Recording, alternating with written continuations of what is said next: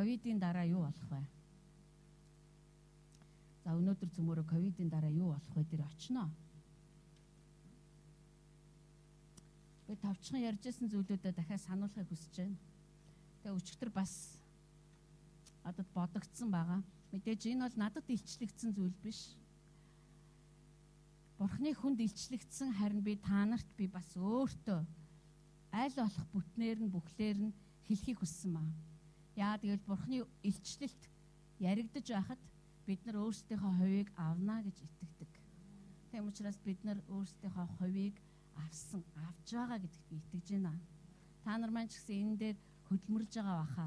Би та нарыг сүнслэг залхуу, сүнслэг залхуур дотор амьдрдгвэ гэж найддаг.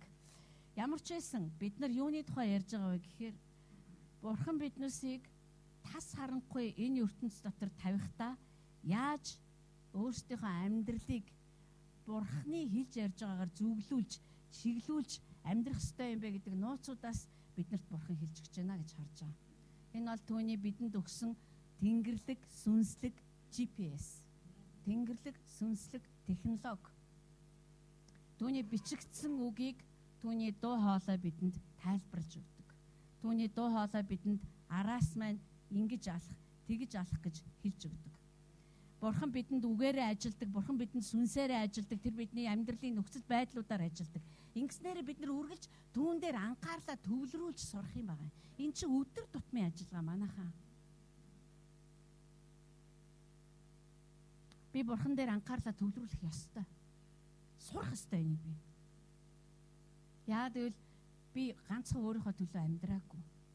Би өөрийнхөө өр хүүхдүүдийн төлөө, сүнслэг хүүхдүүдийнхаа төлөө миний ард зогсоод намайг хаашаа яв гэхийг харж байгаа сүмийн сүм миний ард байгаа. А харин та бас тийм хариуцлагатай. Танд тийм хариуцлага байгаа. Бурхан дээр анхаарлаа хандуулж сурахын тулд тэр бидний хамгийн хүнд хэцүү нөхцөл байдлуудыг хүртэл гайхалтайгаар зохицуулж өгдөг. Тэгээд тэр бидэнд би бол чиний бодит тусламж чинь юм а гэдгийг хэлдэг. Бурхан бодит тусламж авахгүй түнс хийсвэр тусламж биш.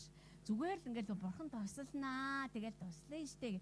Тэгээ тэр нь ерөөсө тусалдгүй. Тийм биш. Бурхан хайртай гэж байгаа бол маш бодиттойгоор хайраа харуулдагчлан тэр туслана гэж байгаа бол түүний тусламж нь маш бодиттой байдаг. Тэгээ энийгээ бидэнд зааж өгөхийн тулд тэр заавал бидэн дээр ажилдаг байна. Тэгээ бид нар ажиллаж явах явцад нь яадаг вэ гэхээр боолын хэлийг хайж эхэлдэг. Тэгээ бид нар хүүгийн хэлээр ярьдаг. Бид нар эцгийнхээ мөнхөд тогтоогдсон үгсүүдийг тунхагладаг. Тунхаглахдаа бид нар бүр яг бүр итгэлтэйгээр бид нар зарладаг. Бүр ухамсартайгаар бид нар зарладаг гэсэн үг. Бидний эзэн бидэнтэй хамт байгаагүйсэн бол бид нар энэ энийг уншиж ах энэ энэ уншиж ахтаач тэр тунхаглаж ахтаач тэр нэрээ тийм шүү дээ бидний сүнс дотроос маань гэрчилдэг шүү Нэрэ тэр надтай хамт байгаагүйсэн бол. Нэрэ тэр бидэнтэй хамт байгаагүйсэн бол. Нэрэ тэр энэ үндэстэнтэй минь хамт байгаагүйсэн бол. Аль хэдийн энэ үндэстнийг үзэн яддаг хүмүүс тасар татаад өглөөнийхөө хоолн дээр идэх байсан. Тийм биш гэж юу? Харин бурхан чухам Исаи номын 60 дээр амласан шиг би хамгийн өчийнхнийг нь албаар сонгож авна. Хамгийн хүчрхэг гэж өөрийгөө тооцдог үндэстнийг ичгүүрт оруулах юм бол би хамгийн цөөхөн хүнтэйг энэ бүр сонгож аваад би бүр агуу хүчрэхэг болгоно. Бурхан тэгээд өөрийнхөө хэлснээр хийнэ гэсэн үг. Яа гэвэл хүн төрлөختний түүх бол түүний өөрийнх нь түүх. Тэр өөрөө түүхээ бичдэг. Тэр өөрөө шатар тоглодог. Тэр өөрөө нүүдлээ хийдэг. Тэр өөрөө нүүдлээ зохиодог. Тэр ямар үндэстэн барьж аваад хаана ямар үндэстний өмнө аваач тавиад мат гэж хэлхээ мэддэг. Тэгэхээр цөмөрө бурхны үг ба сүнсний ажиллагаа бидний өдөр болгон тохиолдож байгаа үйл явдлууд, тэн дунд хийж байгаа сонголтууд бурхан бидний алдааг амжилт болгодог. Тэр бидний алдаануудыг амжилт болгодог. Яаж гэдгийг чухам бурхан учраас л хийдэг баг. Түүнээс бид нар дан бид нар бол олдохоосоо алдах нь их байдаг. Гэсэн ч тэр биднийг сэтгэлээр унаад өхүүлэхгүй тулд алдаагийн маань амжилт болгодог. Дараад нь бид нар би ямар азар тэгж алдваа гэж баярлдаг. Алдаандаа баярладаг тэнэг хүмүүс бол бид нар. Яагаад гэвэл Бурхан бидний алдааг амжилт болгож өөрчилж байгааг нь бид нар хардаг. Алдаагийн маань тэр биднийг ухаантай болгоход сургадаг. Алдаагаар маань дамжуулаад. Алдаагаар маань дамжуулаад бид нар үнэхээр даруусдаг. Бид нар дуулуур гэж юмд суралцдаг. Дахиж би дахиж хизээштэй гэж алдахгүй тул алдаагаар мань дамжуулаад ирээдүйд давтагдах байсан алдаануудыг тэр зогсоож өгдөг. Энд ч амжилт биш гэж юу? Ийм амжилтыг ямар ч сургуульд заахгүй. Ямар ч мундаг алдартай яатсан сургууль байсан ч үнийг заахгүй юм аа. За өнөөдөр би төгсгөл рүүгээ орж байгаа. Гэхдээ Түндэ Бакрэ пастрын номлол дуусаагүй байгаа галзуурсан гайхалтай илчлэлтүүд биднийг хүлээж байгаа. Тэгээ тэр тэр илчлэлтүүд бидэнд маш их тус болно. Бидний итгэлийг барьж байгуулна гэдэгт би итгэж байгаа. Паул хэлэхдээ би тарьдаг. Апол усалдаг. Тарьдаг нь ч усалдаг нь ч юу ч биш Хэрэг бурхан тэрийг ургуулахгүй бол. Тэгэд би усалж जैन, би тарьж जैन, багийг усалж जैन, багийг тарьж जैन. Харин ургуулдаг нь бурхан өөрөө муу юм аа та зүгээр уудаг л байх хэвээр. Уудаг шим тижээлтэй хөрсөн байгаасаа. Зөв одоо тэ мэрэгэн ухаан буух үйц тэр ойлголтын зүрхэн танд байгаасаа. Тэгэх юм бол бурхан заавал ургуулна. Яа гэвэл үр амар тайван ургах За. Өнгөрсөн бүтэн сайдруудад бид нар номлосончлон үг сүнс бидний амьдралд яаж ажилтг юм бэ гэдгийг өнөөдөр илүү тодорхой харна. Бид хамгийн сүүлд яагаад бид нар эзэн дотор өсдөггүй хүмүүсийн тухай ярьсан ба. Яагаад гэвэл тэд нар сүг хүлээж аваад үгийн үгийн цэвэр сүг хүлээж аваад боловсруулж чаддаг учраас. Тэмээ хамгийн сүүлд ярьсан шүү дээ бид нар. Яагаад гэвэл зүрх нь хоёр нүур гаргах, өс хонзон, хорсол, атаархал зэргийн хогийн ургамлаар дүүрэн байдаг учраас үгийн цэвэр сүг тэр хүнд ярьсан ч гашилж байдаг. Тэгэхээр тэр хүн сүнсээр зөв өсөж төлөвшөж бор хоолнд очих ямар ч боломжгүй. Тэр хүнд дахин дахин сүг өгөөлөх хэрэгтэй. Гэхдээ боловсруулахын тулд зарим зүйлсийг та нар зайлуулаарай гэж Петр өөрийнхөө загтал хэлсэн ба. Петр тэрийг мэдлгүй яах вэ? Яагаад гэвэл Петр ч өөрөө эзнэр засагдж, эзнэр цэвэршүүлэгдэж байсан нэг шүү дээ. За өнөөдөр бид нар ковидын дараа юу болох вэ гэдгийг харна гэсэн. Тэгээ би хамгийн түрүүнд хэлсэн baаш те номлогчийн үгсдэр байгаа. Наран доор ямар ч шин юм болохгүй гэж. Өөрөөр хэлбэл энэ газар дэлхий дээр та шин юм болно гэж битгий горд. Ямар ч засгийн газар ямар ч шин юм хийхгүй. Нэрш. Би улс төрд ороод одоо улсын хурал болсон ч би шин юм хийхгүй. Шин юм чинь наран доор явагдах шин юм нарны дээрээс ирнэ. Өөрөөр хэлбэл тэнгэрүүдээс ирнэ. Бурхнаас ирнэ. Тэр нь нүд үзээгүй юм байна. Тэр нь чих сонсоогүй юм байна. Тэр нь хүний зүрхэнд ороочгүй тийм л зүйл байна. Тийм зүйлийг би өөрийнхөө хайрлагдсан хүмүүс зориулаад бэлтцээ ингэж бурхан хэлж байгаа байхгүй. Тэгэхээр тэр түүнийгээ хийн. Тэгэхээр ямар ч байсан ковидын дараа онцгой юм болно. Гэтэ тэр бидний эцгээс л ирэх хэвээр. Бусд нь бол шин юм ерөөсөө байж чадахгүй шин юм хийя, шин бодлого боловсруулъя, улс орныг цоошин хөгжлийн замаар авч явъя маа. Энэ хүнээс юусо гарахгүй, энэ газраас юусо ургахгүй. Энэ заавал нарны дээрээс бидэнд л орж ирэх хэрэгтэй. Харин бид нар яаж энэ бүхний дундуур амьдрах вэ гэдэг чинь асуудал болчиход байгаа байхгүй юу? Тэр шин юмыг нь авах хайрлагдсан нэгэн, тэр шин юмыг нь харах үзэх, аавах, хүлээж авах, амтлах өөрийнхөө амьдрал дээр оруулж ирэх тэр нэгэн та хоёр. Тийм учраас хит туйширч цагаасаа өмнө үхэмгүй байна. Ер нь та талархсан уу бурханд? Ковидоос амьд үлдсэн дээ. Ягаад ч юм хүмүүс хүмүүс үхээлээс. Ерөөсө 2 3 хоногийн өмнө манай хүүтэй ажиллаж исэн 19 настай охин ханаа төрөө хүндрээд орсон. Яагаад юм бөө мэд? Зүгээр л ханиад штеп. Гэтэ яагаад ч юм үхэл зүгээр л зугаалаад байгаа юм шиг энэ зүгээр чөлөөтэй ингээл зүгээр тэнэл хин дуртайгаа аваад байгаа юм шиг. Гэтэ тийм биш. Гэтэл бид нар амьд үлдсэн. Тэр биднийг амьд байлгасан. Тэр бидний хайртай хүмүүстээр амиа тушаасан. Иремья номон дээр бурхан Иремьягийн амийг аварсан нэгэн тайганд, нэгэн түшмэлд хилдэг. Чи гай гамшиг дайн дажин үхэл хагцлын дунд өөхөхгүй би чамайг чамд амийг чинь бэлэг болгож өгч байна гэсэн. Ам бол бэлэг. Харин бурхан надад бэлэг өгөөгүй гэж бодож байгаа л үгүй та битэрийг амьд үлдээсэн байхгүй. Өөрсдийнхөө зорилгын амлалтын дотор амьдарч миний амлалтын хэрэгжилтийг үзээсэй гэж тэр хүсэж байна. Үнгүү өгсөн зүйлээ тэр бидний амьдралд хэрэгжихийг нь бид нар хараасаа гэж тэр хүсэж байна. Харин бид нар хариуцлагатай байх хэрэгтэй өгсөн амьд нь. Бид нар эрүүл амьдрах хэрэгтэй. Бид нар эрүүл амьдралын хэм маягийг мушгих ёстой. Бид нар зүгээр л бурхан минь та намайг ингээл хүчтэй аваа та намайг бити хөгшрүүлээрэ та намайг миний өвчлөөсүүдийг арилгаа арилгаад ингээд аюу гой болгоор тийм балаа залбиралт бурхан байтугай хин чөтгөрч хариулахгүй тэрэнд. Эн чинь миний хариуцлага байхгүй. Би яаж амьдрах юм? Би өөрөө хариуцна гэсэн үг. За, цөмөрөө өнөөдөр загваруудыг харна.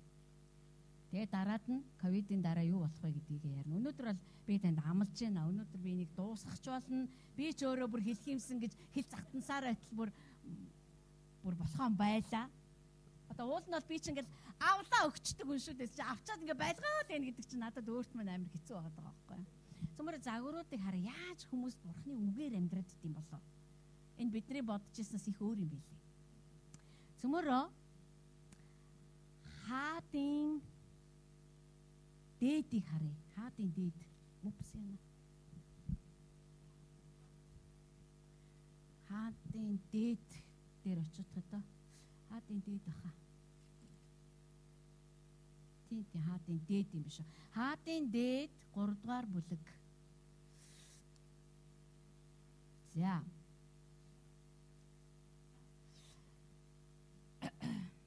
За энэ Соломон хааны хаанчлын тухай гарч байгаа. 3 дугаар бүлэг дээр Соломон бурханд хандаж залбирдаг. 3-5-аас Гибеонд байхад нь нэгэн шин эзэн зүүдэнд нь Соломонд үзэгдэж чи надаас юу авахыг хүсэж байгаагаа надаас гуйхтун хэмээн бурхан айлтав. Тэгэхэд Соломон та өөрийн боол миний эцэг Давидыг таны өмнө үнэн зөв шудраг тань руу хандсан цэгш шулуун сэтгэлээр явж байхад түүнд инэрлээ үзүүлсэн. Мөн та энэ өдөр байгаагийн адил сентентэн залрах хүүг түүнд өгснөөрөө энэ агуу хайр инэрлээ түүнд хадгалсан билээ. Соломон бол хаан болж сонгогдохоор нэг тийм содон сайн хүү биш шүү дээ. Соломон Батшебагийн хүү. Давид Батшебаг хулгайлж авсан. Батшебагийн нөхрийг алсан. Тэгээ хууль бусаар Соломон олдсон. Гим нүгэл дотор бүрлдсэн. Гэсэн ч бурхан агуу инэрлэр Соломоныг Давидын өв залгамжлагчаар сонгож авсан. Тийм ч учраас Давид хүүгээ сургадаг байсан.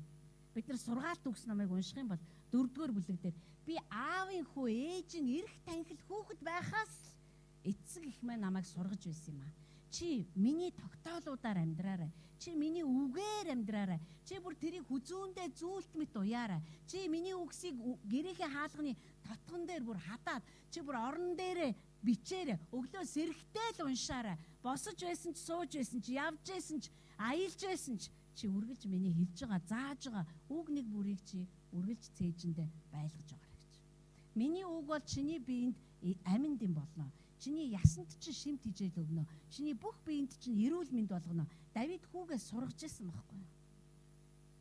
Тэгэхээр тэр Соломон ухаан орсон цагаасаа бурхнаар сургагдсан гэсэн үг. Давид бурхны зүрхийг дагдаг хүн байсан. Давид хүүгээ сургасан байхгүй юу? Тэгээд Соломон гуйж байна. Та миний аавд инэрэнгүү хандаж түүнд яаж амьдрахыг зааж инэрлээ үзүүлсэн юм аа. Тэгвэл та Одоо харъя долоогоос. Одоо эзэн бурхан минь хэдийгээр та өөрийн боол намайг эцэг Давидын маань оронд хаан болгосон боловч би балчир хүүхэд хിവэрэ байна. Аргагүй залуу хаан. Би яг л жоохон хөвчөг байна аава. Гэхдээ бурхан минь би яг жоохон хөвчөг байна. Би хэрхэн орж гарахаа ч мэдэхгүй байна. Таны боол би тоолж бүртгэж чадхааргүй агуу их. Таны сонгосон ард түмний яг голд нь байна. Тэгэхээр таны ард түмнийг шүүж сайн мууг ухаан ялгах чадварыг өөрийн боолдоо өгөөч. Учир нь таны энэ агуу их ард түмнийг хэн удирдах чадах вүлээ гэсэн. Соломон энэ зүйлийг гуйсанд эзний мэлмид таашаагдав. Та бүдэрийн залбирлууд түнд таалагддаг байх болтугай. Тиймээс бурхан түнд чи энэ зүйлийг гуйж өөртөө ууртнаас баялаг болон дайснуудынхаа үхлийг гуйлгүй харин үнэн зөвийг ухаан ялгах чадварыг өөртөө гуйсан тул харагтун би чиний хүссний дагуу үйлдлээ. Харагтун би чамд мэрэгэн мэрэгэн ухаан ялгах чадвартай зүрхийг өглөө гэсэн. Бурхан зүрхийг өгсөн. Тэр зүрхэн дотор мэрэгэн ухаан бууж ирнэ. Англи библийг харах юм бол би чамд ойлгодог зүрхийг өглөө. Тэгээ чи мэрэгэн ухааныг хүлээж авах болно гэсэн. Зүрх нь ойлгодгүй бол мэрэгэн ухаан хог болно шүү дээ. Хүн хүлээж авч чадахгүй. Чиний өмнө чамтай адил хүн байгаагүй бөгөөд чиний дараач чамтай адил хүн гарч ирэхгүй юм аа. Би бас чиний гуйгаагүй зүйлс болох баян тансаг байдал болон нэр хүндийг ч чамд өгсөн. Соломон тэрийг зүгээр гуйгаагүй авсан байхгүй юу? Хүлээж авсан. Чиний бүх өдрүүдийн туршид хаадын дунд чамтай адилхан байхгүй болно. Хэрв чи эцэг Давид шигэ миний тогтоол тушаалуудыг сахин миний замаар явбал би чиний амьдралыг уртасгана гэж айлтлаа. Тэгээ Соломон сэрэд хартал энэ нь зүуд байв. За цаашгаа харъя. Түүний дараа Тэрээр Иерусалимда ирж эзний гэрээний авдрын өмнө зогсож шатаал тахлууд болон эвийн тахлуудыг өргөн бүх түшимдтэй зориулан найр хийсэн. Үүний дараа одоо анхны сорилт орж ирж штэ анхны асуудал, анхны кейс, анхны челленж орчин үеийн хэлээр. Үүний дараа янхан байсан хоёр эмэгтэй хаан руу ирсэн. Түүний өмнө зогслоо. Нэг эмэгтэй нь эзэн минь ээ, энэ эмэгтэй бит хоёр нэг гэрт амьдард юм аа. Энэ эмэгтэй гэр дотор байхад би хүүхэд төрүүлсэн билээ. Намайг хүүхэд төрүүлснээс хойш 3 өдрийн дараа энэ эмэгтэй ч бас төрүүлж хүүхэд төрүүлсэн. Бид хамт байсан. Гэрт биднээс гадна өөр хүн байгаагүй. Зөвхөн бид хоёр л гэртээсэн. Хоёр төрсэн эмэгтэй хоёр нялх хүүхэд. Энэ эмэгтэй унтаж байхдаа хүүхдээ няц дарснаас хүүхэд нь шин нас орсон нас орсон билээ. Тэгээд энэ эмэгтэй шүн дунд босон таны шивгч нь намайг унтаж байхад хажуугаас минь хүүг маань аваад өөрийнхөө өвөртхийн харин өөрийн өгсөн хүүхдийг миний өвөрт хийсэн байлаа. Өглөө би хүүгээ хөхүүлэх гэж босоод хартал тэр өвчгсөн байв. Харин би өглөө хүүхдийг няхуур ажиглан хартал тэр нь миний төрүүлсэн миний хүү биш байсан юм а гэв. Тэгтэл нөгөө эмэгтэй үгүй Амьд буй нь миний хүү харин үхсэн нь чиний хүү гэж арцав. Тэгтэл ихний эмэгтэй үгүй үхсэн нь чиний хүү харин амьд нь минийх гэж маргав. Тэд ийн хааны өмнө хэрэлдлээ.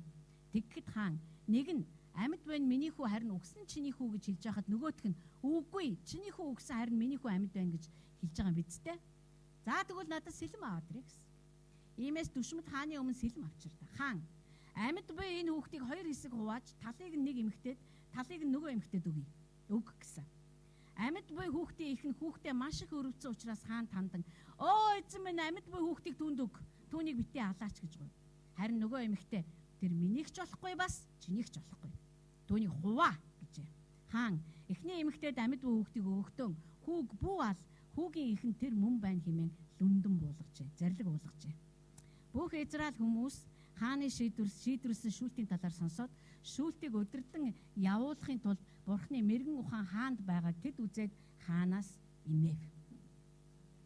Эхний челленж орж ирсэн байх нь шүү дээ.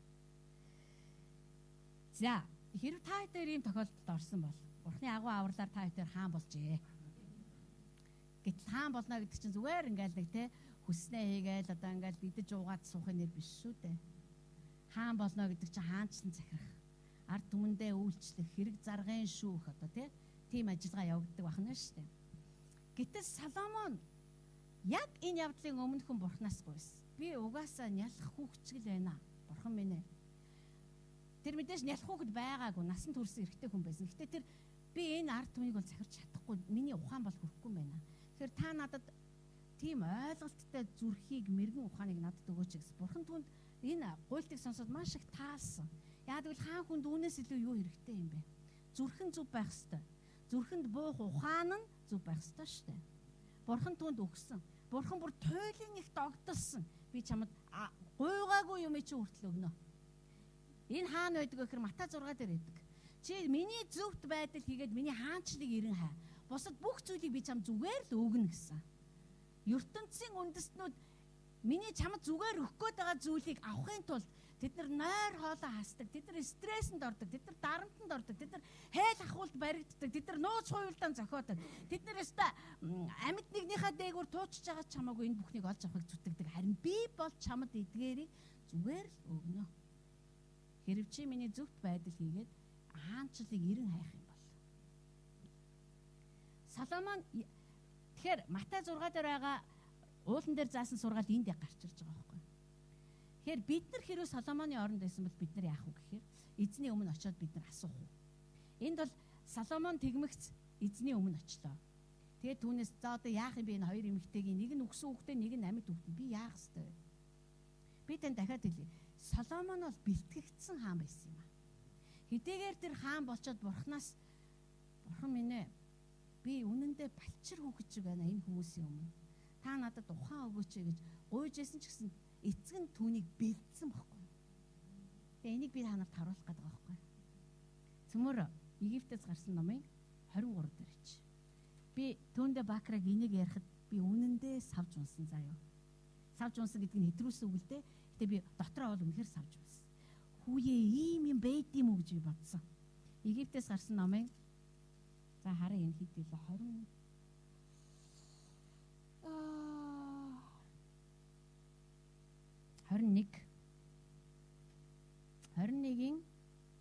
35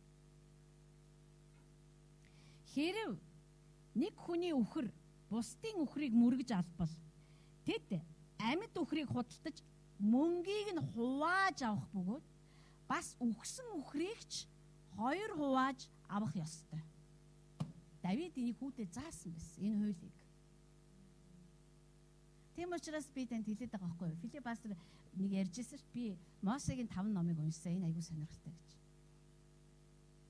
Би тэгээд гүн ч одоо Филипп пастор сонирхолтой гэж байгаа бол Абтаядын сонирхолтой зүйл байгаагаа би бас уншсан байна. Гэтэ би одоо хүртэл би дахиад л унших юмсан гэж бодоод байгаа. Давид бурхны хуулийг хүүдээ зааж өгдөг байсан. Ийм бол ингэж шийддэг байх нь шүү дээ. Соломонд ерөөсөө энэ орж ирсэн. Энд чи байна шүү дээ өөрийнх нь цээжинд. Тэг дундуур нь хувааж авах. Энэ төлхүүр үг байсан байна. Төлхүүр үг. Үгсэн үхрийг ч тэг голоор нь хувааж ав адилхан ашигтай амьд үхрийг зар тэгээд ашгийг яг хувааж ав. Яг энэ хуулийн энэ одоо кейс одоо тий орж ирж штэ өөрт нь толгоонд нь орж ирж штэ. Яагаад бид нар бид нар зүрхэндээ бид нар цээжэндээ бид нар толгоондоо түүний үгсийг цуулахгүй бол хаанаас ирэх юм тэр чинь. Соломон энд эзэн чихрүү шивнээгүү А за сэлэм аав дэр. Та наад үгс амьд үгтэй хуваа гэж хэл. Бид нар ингэж өдөртнө гэж боддог. Таны дотор үг байвал үг чинь өөрөө таныг одоо сүнс одоо үг ба сүнсний хамтын ажиллагаа энд гарч ирж байгаа байхгүй. Би бас энэ намлыг унш сонсож байхдаа бас нэг зүйлийг харсан. Цөмөр үйлс намын нэгийг харъя. Үйлс намын нэгдүгээр бүлэг. 15 энэ өдрүүдэд Петр ах トゥ нарын голд босож тэнд 120 хүн цугласан байлаа. Петр бол үнэндээ зоригтой юм шүү. Энд чинь урвсан шүү. Нүдний булаа болсон шүү. Утгаараа бол. Гэсэн ч тэр босох ёстой гэдгээ мэдсэн. Яад бол Есүс түнд амьд ахтаа хэлсэн. Чи урвна. Гэхдээ бити санаа зов би чиний төлөө залбирсан бөгөөд чи эргэж ах トゥ усээ тэнхрүүлэх болно гэж. ах дүүсийнхээ голд босож зогссон. Ямар ч арга байхгүй. Би босхгүй бол та нарын хин нэгэн босгол хэрэгтэй болно. Тэнд 120-од хүн цугласан байсан. Ах дүү нараа Есүсийг баривчилсан хүмүүсийг газарчлан ирсэн Юдагийн тухайд ариун сүнс Давидын амаар урдаас хэлсэн тэрхүү судар биелэгдэх ёстой байлаа. Учир нь тэр бидэнтэй хамт байж бидний албыг хуваалцаж байлаа. Тэр хүн хорон үүлийнхээ төлөөсөнд авсан газар төрүүлгээ харж унан хевлийгээ ярьж гэдэс дотроо цуулжээ. Үүнийг нь Иерусалимд оршин суугч бүхэн мэдсэн бөгөөд уг талбайг өөрсдийнхөө хэлээр хакил дамаах буюу цус талбай хэмээн нэрлэжээ. Энэ нь дуулал номонд түүний орон гэрний эзгүрч хинч түнд нь бүү оргоног гэд үүргийг нь өөр нэгэн гүйцэтгэх гэж бичигдэжээ. Яг бичигдсэн үгээр ажиллаж байгаа хгүй эднэр. За одоо юудаа алга болсон. За ёстой байли дагчил оронд нь хүн авахгүй шүү. Одоо гайвалж ямар ч юм ирэх юм бэлээ. Тэд нар ерөөсөө хүний төрлөг ухаанаар юу ч шийдэхгүй байгаа даахгүй. Бичээс хэлэхдээ орон гэр нь эзгүүр нь харин оронд нь өөргийг нь хин нэгэн хүн авах ёстой гэж хэлсэн байдаг шүү ахын дүүсээ. Тэгэхээр бид нар яг бичээсээр гүйцэлдүүлэх ёстой. Хин нэг нэг сонгоё. Гэхдээ Есүсийг усан баптизм хүртсэн цагаас хамт дагаж явсан хүн байна уу? Хоёр хүн байна гэсэн. Нэг биш хоёр. Хоёр хүн гарч ирсэн. Тэр нь болохоор зэрэг Барсаб гэгддэг Йосеф, Матия гэдэг хоёр хүн байсан. За тэгэхээр хоёр хүнээс нэгийг сонгох хэрэгтэй болсон. 24 дээр тэд нар залбирсан. Бүх хүмүүсийн зүрхийг мэдгч эзэн. Та энэ хоёрын хэнийг сонгож байгаагаа харуулаач. Өөрийнхөө газар руу очихын тулд үйлчлэл ба элчийн албыг орхиододсон Юдагийн үүргийг хэн хаших вэ хэмээгээд тэд тэр хоёрын төлөө шавг хайсанд шавг нь Матия дээр бууж тэр 11 элч нарын хамт тоологдох болжээ. Энэ айгүй хачин биш гэж үү та нарт? Итгэдэг хүмүүстэй тэгэл одоо шомо хаяал одоо ингээд сунгачдээ байх та. Ямар сони юм бэ гэж танд бодогч ирсэн. Одоо жишээлбэл надад бол бодогч ирсэн. Ямар сони юм бэ гэдэг. Гэтэ бас хэцүү юм. Энэ хоёр хүн чинь хоёулаа л одоо Есүсийг усан баптизм хүртсэн цагаас эхлээд дагсан. Тэгэхээр чи одоо аль аль нь л одоо байж болом харагдаад байдаг. Гэтэл ямар сони юм бэ? Гэтэл хуучин гэрээний хуулийн дээр за би энэ хуулийг нэг биччихсэн юмсан. За би та нарт өгнө заа юу. Хуулийн дээр юу гэсэн бэ гэхээр тахилч нар штэ. Тахилч нарт үрийн ба түмийн гэж байдаг гэсэн. Та нар унших юм бол. Үрийн ба түмийн нь юу байдаг гэсэн бэ гэхээр шав хайдаг ариун одоо хэрэгсэл шийдвэр гаргах гээд эзний өмнө очихдоо тэд нар төмийн ба үримийг хайдаг байсан. Тэгэхээр төмиймээр унуул нэг шийдвэр гаргах нь байна. Үримээр унуул нэг шийдвэр гаргах нь байна. Хуучин гэрээд. Петр яг тэрүүгээр ажилласан байгаа байхгүй. Бид нар сонгож чадахгүй байна. Бид нар өөрсдийнхөө сонгомооргүй байна. Хоёр хүн байна. Тэгэхээр тэд нар төмийн ба үримээр ажиллаагүй. Яа тэгэл тийм байхгүй шүү дээ. Харин тэд нар яг тэр зарчмаар ажилласан байхгүй юу? шавх хайсан.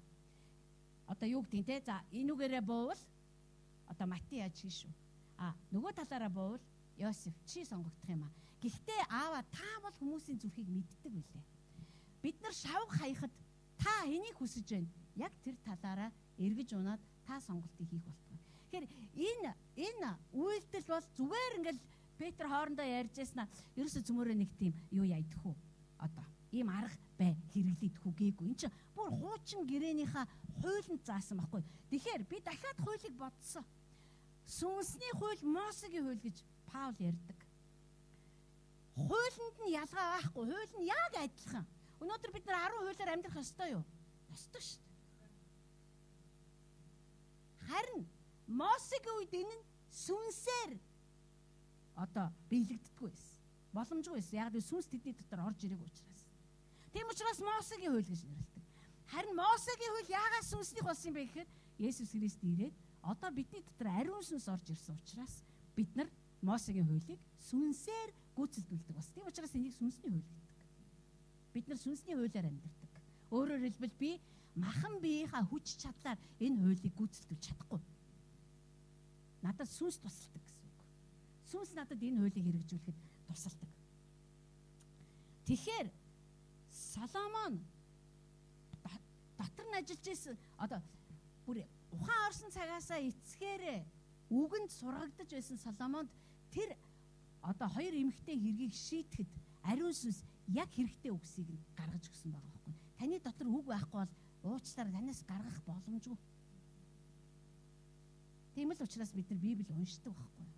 Тийм л учраас Библийг уншилтаа гэж хэлдэг. Би энд Библийг уншаач. Яах гэж Бид нар биеиндээ мэдлэгийн одоо ингээд маргаан мэтгэлцэн зохиохын тулд үгүй шүү дээ. Паул өөрийнхөө сүнсний хөвгөдөд маш тодорхой хэлсэн. Чи бити дэм хэрэгтэй хэрэггүй мэтгэлцээнд оржээ. Хэрэгтэй хэрэггүй маргаанаас хол яв.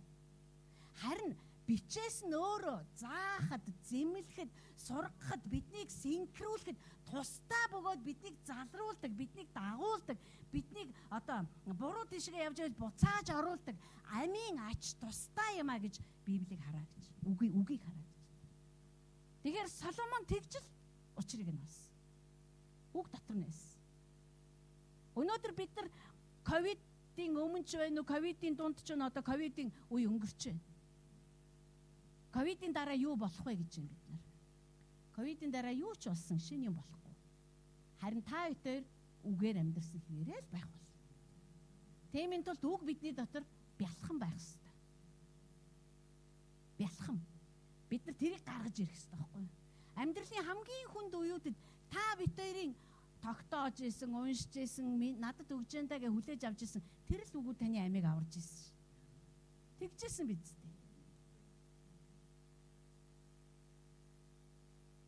Та зүгээр бодчих. Өнөөдөр сүм чуулганууд дотор Библийг уншдгоо бүр пастор хүртэл зөндөө байна.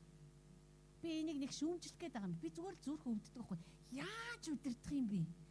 Өөрт нь юу ч байхгүй. Уу яаж өстө нөгөө яаж вэ? Яаж? Та яаж гэр орноо авч явах юм? Та яаж хямрал дундуур зоригтой ихтгэлтэйгээр алхаж чадах юм? Та яаж итгэл чинь ямар ч одоо хүнд хэцүүгийн дунд гойхгүй байж чадах юм?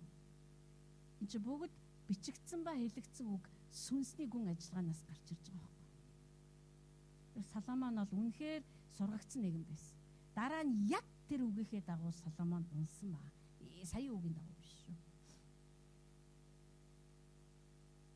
Бурхан Мосед хууль бичүүлж байхдаа хэлдэг.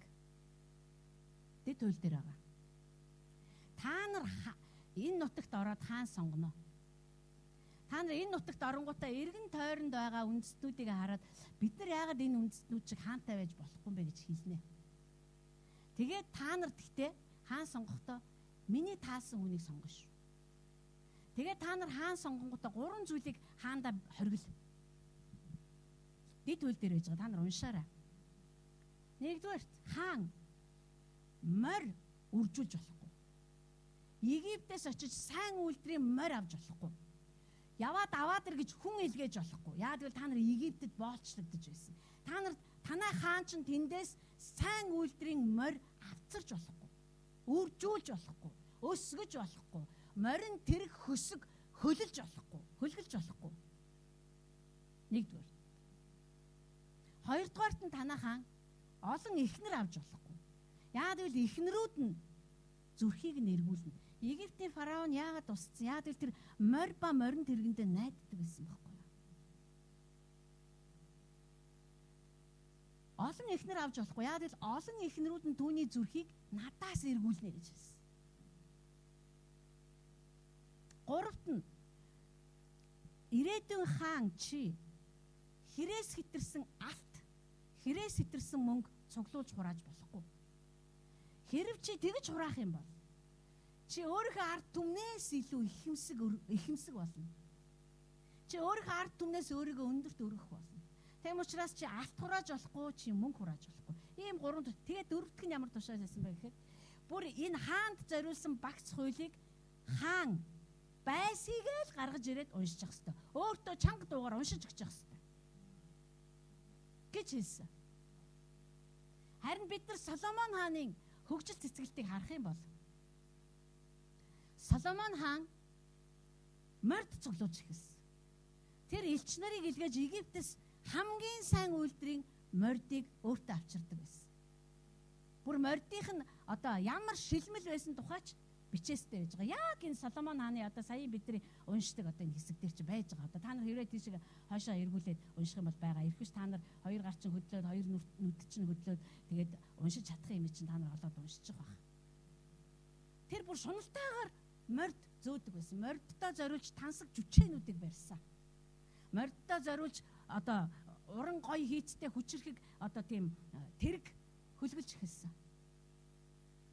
Египтээс очиж. Тэгээд дараад нь тэр их нэртэй болсон.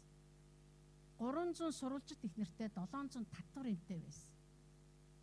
Тэр амьдралынхаа төгсгөлд мөргөж олдог бүх бурхтад мөрөгдөг болсон.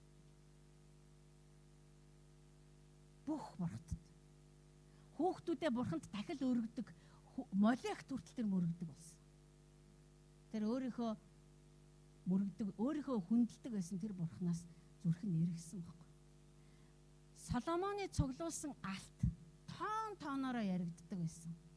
Соломоны хураасан мөнгө тоон тооноор Соломоны үед мөнгийг тоохоо байсан гэдэг.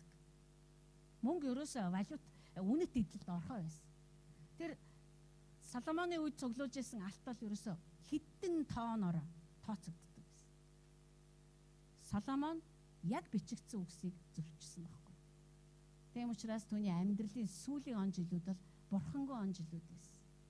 Бид нар номлогчийн үгсийг унших юм бол наран дор ямар утгагүй би амьдрал. Юуны төлөө юм бэ энэ? Би би би би бүхнийг амсаж бүгдийг хийж би бүгдийг хүртэж бүгдийг эдэллээ гэсэн ч бүгд хоосон юм байна. Ийм л маягта дууссан байхгүй. Бурхан бидэнд энэ дээр ингээд нэг бичээд өгчихсэн энэ үгсүүд бол амьд бөгөөд итгэхтэй юм аа. Амьд бөгөөд итгэхтэй. Тийм л учраас тооллого, левит, дэд хууль Египтээс гарсан нь маш чухал. Учир нь хідэн үе дамжаад Израильчууд үгээр амьдэрдэг байсан. Хідэн үе дамжаад эднэр тэр бичигдсэн үгсэнд гүн ухаан нуугдаж байгаамаа гэдгийг мэддэг байсан байхгүй. А хүний гүн ухаан бол хизээч хүнд хүчийг өгдөг шүү дээ. Бид нар цуглуулж болно л да күнзийн ухааныг цуглуулж болно одоо мэдхгүй одоо тэ Сократ, Макрат, Аристотель бид нар цуглуулж болно өрөөгөөрөө нэг хадаж болно. Бидэнд хүчийг өгөхгүй тэнд ам байхгүй. Тэгэхээр энэ бол гайхалтай жишээ мөн. Дараад нь үгс бидэнд үндэснийхээ төлөө зогсох хүчийг өгдөг. Бид нар түрүүн ярьжсэн Даниэлийн тухай Даниэл байна, Еремя байна, Исая байна. Энэ хүмүүст бүр тэндээс хилэгдээд ирсэн үгс байгаад байсан учраас тэр үгсийг бариад үндэснийхээ төлөө зогссон байхгүй юу? Хэрвээ Даниэл Еремягийн үгийг уншаагүй бол 70 жил байдгийн байна гэдгийг тэр хараагүй бол цөмөр харъя л та. Еремя номын 28 29-ийг харъя цөмөрөө. 28 29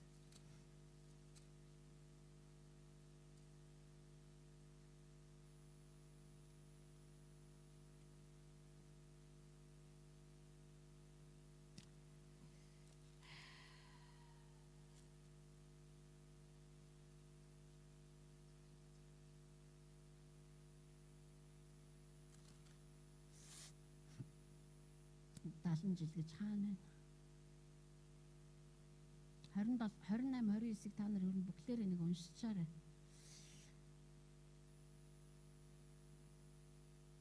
За цаана байна. Иремя а 28-ын 29 биш ээ 28 биш. 29 70 жил та нар тэр газарт байна байшингууд босгож амьдр цэцэрлэгүүд тарьж бүтээгдэхүүнийг нь ид. Эхнэрүүд авч хөвгүүд ба охтын эцгүүд болж тэд хөвгүүд охтыг төрүүлэхээр хөвгүүддээ эхнэрүүд авч охтуудтай октоо нөхрүүдэд нүг тэнд үрж бүү цөөр миний та нарыг цүлж явуулсан хотод сайн сайхныг эрэлхийж түүний өмнөөс эзэнт залбир. Учир нь түүнийг сайн сайхан байхад та нар сайн сайхан байх болно. 70 жил гэсэн тоо байгаа шүү манайхаа би тэрийг олох гээд байна л да. 10 дээрээ 29 нь үү? Аа за. Яг үнэ. Учир нь эзэн ингэж айлдаж байна. Бабилоны төлөө 70 жил дуусахад та нарыг энэ газар руу буцааж авчрахын тулд би та нар руу ирж өөрийн сайн үгийг та нарт биелүүлнэ гэсэн юм. Биш энэ үгийг Даниэл уншсан байхгүй юу? Тэгээ Даниэл мацаг барьсан. Даниэл залбирсан. Эс бөгөөс хүмүүс тэр газартаа үлдэнэ. Хизээ дуусахыг мэдэхгүй учраас. Харин бурхан тэдэнд буцааж авцсан гэж амласан. Бурхан энэ үндэстэн зориулсан иш үзүүлэхийн үгсээ өгсөн. Надад л өгсөн. Исая 60 59 60 61 Энэ бол Монгол зориулсан үгс аахгүй. Тийм учраас бид нар цөөхөн биш. Бид нар цөөхөн л дөө ер нь бол. Гэхдээ цөөхөн биш. Яг л бурхан албаар цөөхөн үнд цөөхөн хүн амтай үндэстнүүдийг сонгож авдаг. Албаар хүчгүй үндэстнийг сонгож авдаг. Яах гэж хүчтэйг хүчэндээ найдах хэрэггүй гэдгийг харуулахын тулд олон хүнтэйг нь чи чи түмэн түг түн байсан ч юу ч биш надад гэдгийг харуулахын тулд Тийм л учраас энэ үндэстэн хоёр авраг үндэстний дунд байгаа л байгаа байхгүй юу?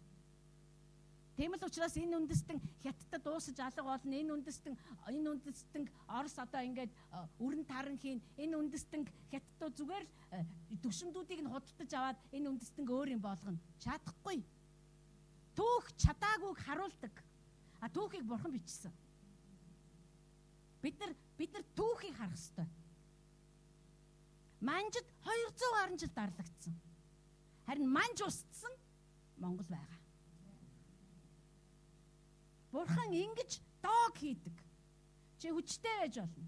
Чи олуулаа байж болно. Чиний айрам газрыг дөрөгтөлж агсдаг байж болно. Чамд атмын зэвсэг байдаг байж болно. Чи чи хамгийн сүүлийн үеийн цэргийн техник технологи нисдэг шумбдаг хөвдөг одоо дагдаг одоо бүх юм чамд байж болно. Харин Монголд агаар руу гадны онгоц орж ирж байгааг мэддэг ажилтдаг ардаарч байхгүй байж болно. Тэгээ би чиний ардаарч нь байна. Би чиний хан хэрэмч нь байна. Би чамайг тойрон хүрээлт юм. Би авралаараа хан хэрмий чин босгодгийн цагаан хэрэм барьсан байж болно. Харин би авралаараа хэрэм барьдгийг. Би даама хаалгуудыг хаагдаг гэвэл тэд нар хаагддаг. Нээгдэг гэвэл тэд нар нээгддэг. Би мэддгийг өөр хинч биш. Тэм учраас би хүчрэхэг айрамтай. Тэм учраас миний өдөөс өрүүлзээд үзээрэй. Би одоо яг товчлуур дээрээ дарах гэж байна. Миний айрам бол дэлхийд номер 1. Би харахтун цэргийн хувцас өмссөн байна. Одоо би байлтахад бэлэн болсон байна. гэж хэлэх ёстой. Хамгийн дээд нэгнлүүл ярьж байгаа гэсэн үг. Үндэстнүүдийг бүтээсэн нэгнлүү ярьж байгаа гэсэн үг. Харин бидэнд түүний үг байгаа. Тэр бидний аврал. Түүнээс Монгол хүчтэйдээ биш хамгийн хүчгүй. Бид нар бид нар руу дайрахад бид нар зүгээр л байж идэг. Биднэрт гайхуулах юм юу ч байхгүй. Биднэрт газрын баялаг байна. Тэгээд юу гэж тэрийгэ зарцуулж мэддэггүй. Тэрийг олборлож чаддаггүй. Олборлоо дахин бүтээгдэхүүн болгож ашиглаж мэддэггүй. Бид нар ухаантай. Гэхдээ ухаанаараа яхаа мэддэггүй. Бид нар хүчрхэг. Бид нар бид нар тэгсэн чи эвлэлтэж өрсөж чаддаггүй. Бид нар биеиндээ үргэлж атаархдаг. Тийм учраас энэ үндсэн дээр бурхны аврал ажиллана. Өөр юу ч биш. Харин бидэнд түүний үг байна. Хаадууд нь чам руу ачаага бариад ирэх болно. Чиний улмаас биш тэнд амьдарж байгаа миний алдрын улмаас. Тэнд амьд бурхны алдар амьдарж байгаа гинэ. Үгүй тэрийг очиж яахаараа Монголд Яахаараа өчнөө зууны туршид бид нар Христчин үндэстэн байтал чинь бидний болоод ямар ч сургаггүй тэр үндэстэн Бурхны алдар тэнд оршиж идэг. Би итгэхгүй байна. Хамт очиж үзэхүү. Тэгээ. Атус онгоцны билет нь олдохгүй байгаа штэ. Тийм үү? Хөлөг онгоцоор явъя. Хөлөг онгоцны билет дууссан. Тэгвэл яа тийм машинаараа галт тэргэн зуул та. Галт тэргэн зуугаа тэр хүртэл явж цаашгаа мориор яа. Яа тийм мориор явъя. Энэ үрч мороор явна цаашаа яв. Ямар амаатай явгаа явъя. Яа тэгэл бурхны алдрын улмаас. Бурхны алдар энэ үндэстэнг яаж өөрчилсөн юм? Яаж хөлийн гисгүүр нь болсон энэ үндэстнээ бурхан гойж байгаа юм? Тэр бүм мод хөтөлбөр яаж хэрэгжиж байгааг тэд нар харах болно. Яа тэгвэл энэ үндэстэнд урагчж байгаагүй моднууд урах гэж байна цаан чинь. Манад оршин байдаг гэж мэдээчгүй баялгууд энэ үндэстэнд орж ирэх гэж байна. Бид нар далайн гарцгүй гэж ярьдаг байсан бол үгүй та нар далайн баялагийг идэх болно гэж хэлсэн тэр. Энэ бидний найдар, энэ бидний итгэл үнэмшил, энэ тэгтээ хоосон жиргээ биш. Энэ зүгээр ус төрчтийн хоосон одоо юу биш аахгүй юу? Попрах урлаг биш. Би тэгж хэлсэн яг энэгээр байх болно. Цэгэн ч өөрчлөгдөхгүй, таслан ч өөрчлөгдөхгүй. Үндэстнүүд өөрчлөгдөн хил хязгаарууд хөдлөн арлууд байрнасаа нүүн. Харин чиний үндэстэн дор үндэстний чин дээр нар ерөөсө шингэхгүй сар хавиргалахгүй. Учир нь би та нарын үрдэн гэрэл байх болно бид нар ерөөсө яана нар жоох манай Монголд айгүй эрт харанхуй болчих юм а тийм яриа алга болно гэсэн үг. Дээр үед ингээд чи мэдгүй юм амар дээр үед нар айгүй эрт жаргадаг байсан шүү Бурхны үг бол үнэхээр гайхалтай. Тэгэхээр биднэрт иш үзүүлийн үгс бол бидний залбирлыг зэвсгэлж өгч идэг зэвсэг минь байхгүй юу? Яг вэ? Монголд айхтар хүчрхийг айран байхгүй гэж болно. Гэтэ биднэрт түүний үг байгаа. Би танд нэг юм хэлье. Есүс Христ дандаа хорог байгаагүй байхгүй? Тэр зөвхөн загалмай дээр үхэхийн тулд зохистой хорог болсон. Харин тэр дахин амьлаад одоо бидний дунд амьдарч байхдаа тэр хорог биш. Юдагийн арслан. Өнөөшгүй ялцмаар Коринт номыг харъя. 1-р Коринт ном байна уу? 2-р Коринт байна уу? Өнөөдөр би хүний ном уншиж байгаа болохоор үс эндээс юм болохгүй байна.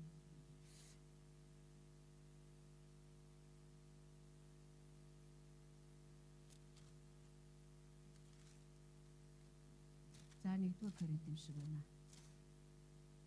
Өнөөдөр би Библийг орхисон юм аа. Тэгсэн чи ерөөсөө юм олдох байх ямар сони юм бэ? Хм. Аха. Энэ юу болж байна? Мм. Та нар үнэхээр шилжсэн юм. За байж байгаа. За. Бараг л болцсон юм байна. За. 13 дугаар бүлэг. 2 дугаар Коринт 13. 3 дугаар ишлэл та нар миний дотор Христ ярьдаг эсхийг батлах баталгааг ирж байна. Би ч гэсэн та нараас гуйдэн шүү дээ. Надаас надаар дамжуулаад Есүс Христ ярьдаг болов уу гэж та өөрөө өөртөө баталгаа хайгаарай гэж. Бити зүгээр л ингээд те ухаангүй юм шиг тэгэл пастор л хэлсэн юм чинь тэгэл бити ингэж яав. Миний амаар яригдж байгаа зүйл тань руу яригдах хэрэгтэй байхгүй юу? Тэгжээж та хоёр хамт алхна гэсэн үг. Тэр та нарын хувьд мөхс биш. Харин та нарын дотор хүчтэй юм аа. Учир нь тэр мөхс байдлаасаа болж цовдлогдсон боловч бурхны хүчээр амьд байдаг. Одоо тэр дахиж хурах шиг байха байсан гэсэн. Тэр яа харахгүй үхэлд дуулууртай байхын тулд нядлагдах хураг мэт номхон байх хэрэгтэй байсан. Харин одоо бидний дотор оршин байхдаа тэр хурах шиг биш ээ гэсэн үг. Тийм учраас шашин биднийг төөрөвдүүлдэг чи номхон төлгөөнд бай. Бити хүний өдөөс юм хэлээ. Пастор мастрын өдөөс юу ч тий дугуур номхон төлгөөн хон шиг эзэн шигэ бай. Үгүй бидний эзэн загалмай дээр өгөхийн тулд мөхс байдал дотор цовдлогдсон. Харин одоо тэр бидний дунд хүч чадал дотор оршдог. Одоо тэр Юдагийн арслан болсон. За иш үзүүлгийн үгс үнэхээр чухлаа. Дараагийнх нь нэг зүйлийг хараад зүмөрөө. Бас энэ иш үзүүлгийн үгстэй холбоотой. Энэ бас их сонирхолтой зүйл үлээ. Маш сонирхолтой. Энэ юугаараа сонирхолтой вэ гэхээр энэ Библи чи өөрөө ингээ бүр амар одоо ингээд одоо юугаар бол одоо хувцсаар бол ингээд ингээд сүлжигдсэн байгаа байхгүй? Алийг нь ч ингээд салгаж авч ерөөсөө болохгүй. Тийм учраас үгийг бид нар салгаж авах аюу аюултай байгаад байгаа байхгүй? Одоо жишээлбэл шүү цөмөр эндээс харъя л та. Аа, Эхлэл номын 25-ыг харъя. Эхлэл номын 25 Эхлэл номын 25 дээр Авраам дахиж гэрэлж байгаа. 25-ын хүүхэн хүний бивж ямар хэцүү юм бэ? Авраам дахин нэг ихнэр авсан. За эн чинь нөгөө манай Сара нас барсны дараа шүү. Дахин нэг ихнэр авсан бөгөөд нэр нь Кетура.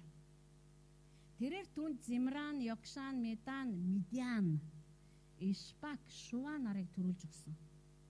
За ингээд үйл явдал өрнөж байгаа. Энэ эмэгтэй түүнд хэдэн хүүхд төрүүлж өгсөн байх нь вэ?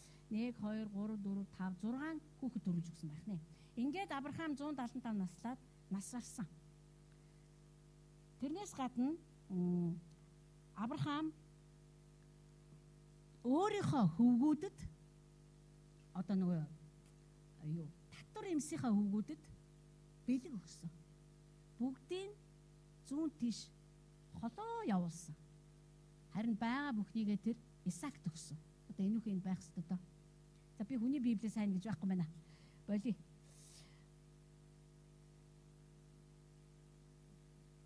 А а Хэдий хэдэ? Аа 25 за чанга чанга чанга дуурш манайха. Тийм байна те.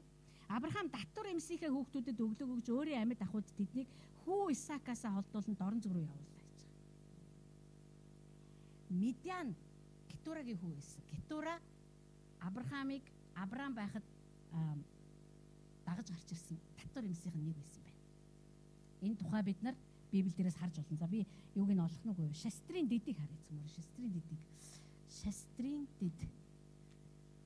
Би энийг яах та нар зинтэй ямар ачин өдөртэй мэрэд өнө гэж бити одоо юм гэдэг чи яасан учир жамцантай юм бэ гэдэг шиг юм болох гэдэг цаан чинь.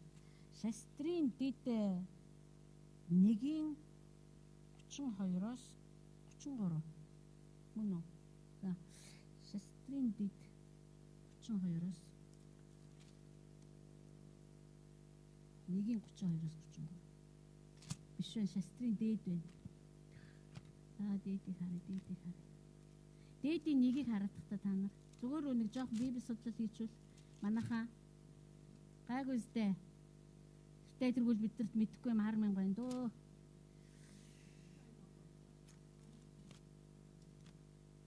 Али отгоо нэг сайхан чанга дуугаар умшаад өгч тоохоо.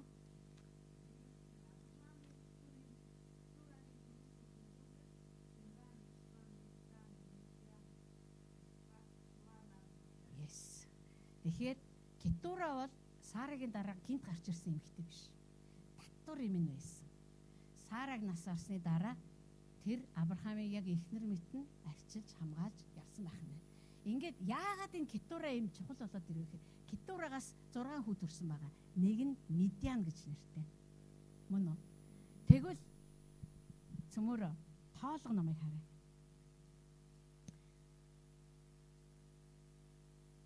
Авраам тоолго номын 22 дээр очиж цөмөрө. Авраам биш үү те? Кетурагийн хөвгүүдийг яасан байх нь? Дорн зүг рүү явуулсан гэсэн үг. Зүүн тишээгээ. Бүгдийн Кетурагийн хөвгүүд ч орж ирж байгаа шүү дээ. Бусад татвар эмсийн хөвгүүд ч орж ирж байгаа. Исаакаас холдсон. Тэгэхээр Хагарын хөвгд ч орж ирж байгаа гэсэн үг. Ишмаил ч орж ирж байгаа. Ганцхан Исаакт тэр байгаа бүхнийг өвлүүлж өгсөн бөгөөд бусдад нь бэлэг өгсөн байна. Тэгвэл тоолго номын 22-ыг харъя. Тоолго. Тоолго номын 22 дээр Израильчуудаас айсан нэгэн хаан гарч ирдэг. Тэр яасан бэ гэхээр Зипорын хүү Балак Баламыг хөсөлдөг. Биорын хүү Балам бол Медиан хүн байсан. Медиан өөрөө Кетурагийн хүү байсан.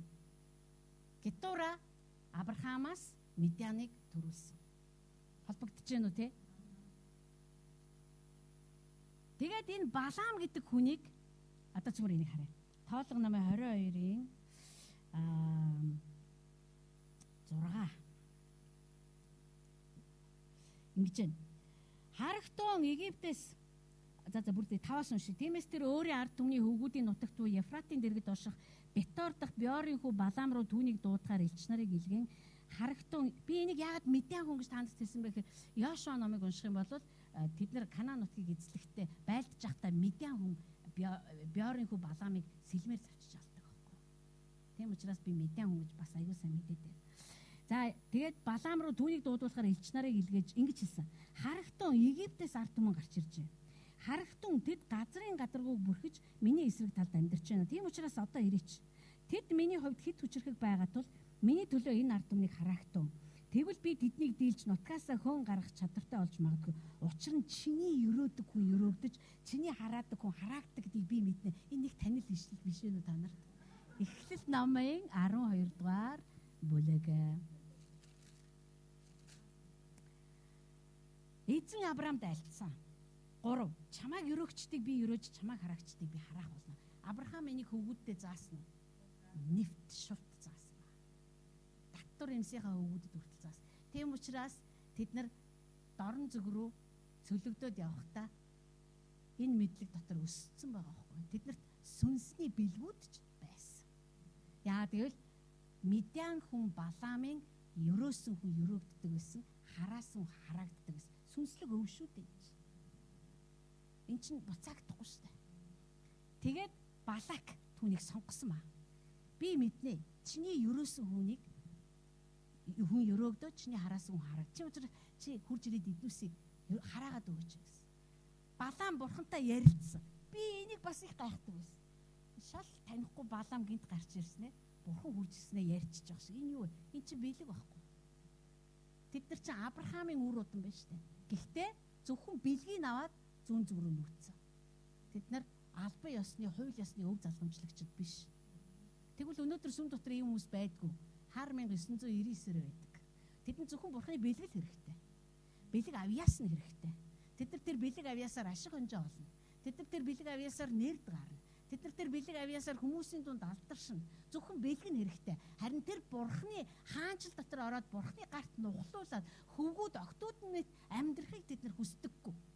Тэм учраас Балам, Медиан хүн Балам бурхнаас одоо Авраам бэлэг болгоод өгсөн зүйлийг ашиглаад мэрэг төлөг хүртэл хийдэг байсан. Жинхэнэ бурхантай тэр амин утгаараа холбогдоогүй байсан. А мэдхүү гэвэл мэднэ. Яа гэвэл Авраам сургасан юм чинь тэднийг. Орж ахт орохдооч гарахтаач бурхан Авраамд хэлсэн ш чи өөр хүүхдүүдтэй заа. Гэрт байгаа бүх ирчүүд чинь 8 хоногтоо хөвч хөндлөх ёстой. Эдгээр бүгд хөвч хөндлөсөн байсан. Тэд нар хүнийг хараавал яадыг мэддэг байсан. Тэд нар хүнийг өрөөвөл яадыг мэддэг байсан. Тэд нар бурхантай яаж ярих вэ гэдгээ мэддэг байсан байхгүй юу? Гетурагийн өвгүүд. Тэрний нэг нь Медиан Медиан хүний хүү Балаам байсан. Тэгэд бурхан түн дээр хурж ирээд биш Балак түүнийг хөлсөлсөн ба. За цааш нь харъя зүмээрээ. Ингээд тоолго номын 22 руу эргэж чиж зүмээрээ. Балаам явсаа. Яагаад гэвэл Балаам өөрөө нөгөө угаасаа ч анханасаа Медиан эцэг нь байхдаа нэг тийм жоохон бэлгийн сонирхолтой юм. Тийм учраас Балак хэлсэн шүү дээ. Би чамд бэлгийг бол хангалттай өгнө. Гэтэ тэр гадна талдаа их сүнслэг ярьдаг. Оо гэр дүүрэн бэлэг байсан ч би авахгүй. Гэхдээ тэр бэлгэнд бол үнэхээр дуртай байсан. Тийм учраас тэр бэлгнээс нь болоод Израильчуудыг хараах гад явдаг байгаа. Ганцхан тэр дөрвөн удаа иш үзүүлсэн дөрүүлэнд нь хараал биш ерөөл байсан. Дөрөв дэх иш үзүүлэг бүр гайхалтай. Цөмөр энийг харъя. 24 дээр байгаа.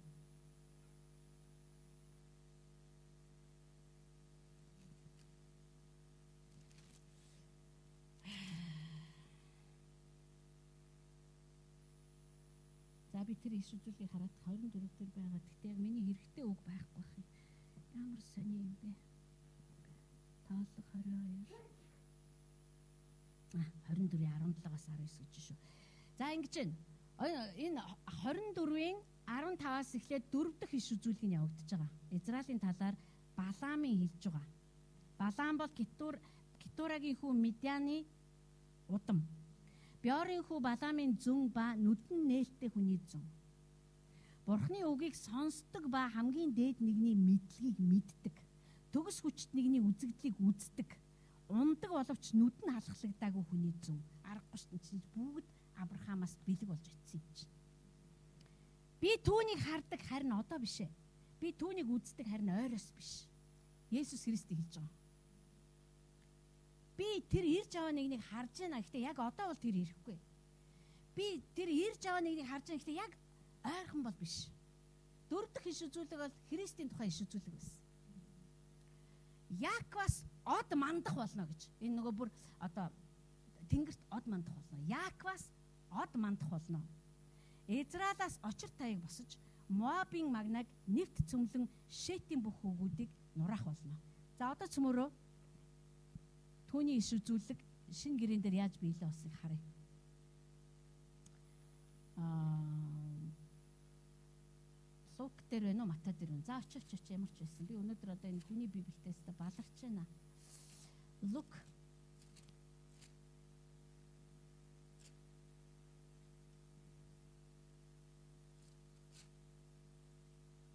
биш байна. Матай байна. Нөгөө ягаад тэ нөгөө дорн зүгээс мэрэгэн хүмүүс хурж ирээд За ойлгосон. А Матай номын 2 Херод хааны өдрүүдэд Юудын Бэтлехэм хотод Есүсийг төрсний дараа дорн зүгээс гэдэг чинь яг нөгөө зүгээс ч ирж байгаа шүү. Нөгөө зүүн зүгээс ирж байгаа. Зүүн зүгээ дорн зүгээс зурхаачд Иерусалим төрж ирсэн. Энэ бол яг зурхаачд биш. Зурхаачд төрж ирээд саяхан мэндэлсэн евдээчүүдийн хаан хаан байна вэ? Бид зүүнтэд түүний одыг хараад. Зүүнтэд түүний одыг хараад түүнд мөрөгөхөөр ирлээ. Херод хаан болон бүх Иерусалимчууд үнийг сонсоод бачимдаж гинэ. Одоо өөрөөр хэлэх юм бол энэ хүмүүс Балаамын иш үзүүлгийг мэддэг хүмүүс байсан. Балаамын иш үзүүлгийг мэддэг учраас Израилаас од онцгой од үзэгдэх юм байна гэдгийг тэд нар мэддэг байсан. Тэд нар одыг наривчлан хардаг байсан байх нь шүү дээ. Тэгэхээр одоо тэр чинь юу гэсэн үг вэ? Бүр тоолгоос эхлээд гэдэг чинь маш олон зууны туршид тэд нар энэ иш үзүүлгийн үгийг хадгалж авсан байгаа даа байхгүй юу? Одоо та итээр нэг 20 жил сүмд явах гэж алингаа алдчихж шүү дээ. Одоо тэгээд 20 жил сүмд яваад одоо Библи уншаачтай, Библийг уншаачтай гэж одоо яваад байгаа. Гэтэл энэ хүмүүс чинь бүр хэдэн зууны туршид үгүй нөгөө Балаам яагаам нөгөө дөрөвдүгээр дагаа иш үзүүлэхтэй тэнд Яаквас од гарна гэж хэлсэн байгаа даа шүү. Тэгэхээр Израилийн зүгээс нэг од гарч ирэх юм байгаад байгаа шүү. Манайха ээдээ тэр одыг тэд нар одыг бүр хардаг, ажилдаг, судалдаг. Гэтэл тэр онцгой од гараад ирсэн. Тэгэнгүүт тэд нар мэдсэн. За нөгөө од гараад ирсэн шүү. Явъя цөмөр. Юудэгийн хаан төрцөн биш шүү. Бид нар чинь үр удам шүү дээ. Тэр хаанд очиж мөргий. Тэд нар хааны ордонд эхэлж ирсэн байх нь шүү дээ. Яг тэгвэл Херодтой уулзаад хаан төрсөн гэхээр ч одоо хааны ордонд төрсөн л гэж бодсон шүү дээ. А биднэрт Крисмасын түүх өөрийг өгүүлдэг. Малын дэвшинд нялх хүүхэд байж идэг. Тэгсэн чинь гурван мэрэгэн хүн хурж ирээд тэр нялх хүүхдэд бэлэг өгдөг. Харин Херод хоёр хүртэлх насны эрэгтэй хүүхдүүдийг устгадаг. Тэгэхээр тэр од онцгой од гарч ирэхийг харлаа. Тэд нар тийшээ аяллаа. Бид нар онгоцоор явахгүй мэдээж. Явгүй явна штэ. Нэгээс 2 жил дор хийж явах байхгүй юу? Тэгээ тэд нар од хаан тогтсон тэр газар хурж ирдэг. Тэгээ хаантай уулзаад хаа байна тэр хаан гэсэн. Хаан тэрийг сонсоо бачимдсан. Энд ч одоо энэ дээр бичигдсэн үг байгаа шүү дээ. Херод түүнийг сонсоод бүх Иерусалим бачимдсан гэж. Тэгээ дараа нь тэд нар яваад Мария Йосеф хоёртой уулзаад бэлгээ гардуулсан бөгөөд бэлгийг нь аваад тэд нар Египт рүү зугтахад замын зардлаа хийсэн байна. Исаягаар дамжуулаад бурхан нэгэн онгон эмэгтэй хүүхэд төрүүлэн түүнийг Имануэль гэж нэрлэе гэсэн. Тэгвэл Мария дээр Тэнгэр ич Габриэл хурж ирээд чи удахгүй ариун сүнсээр жирэмсэн болоод хүүхэд гаргана. Хүүг Есүс гэж нэрлэе гэсэн. Имануэль биш, Есүс.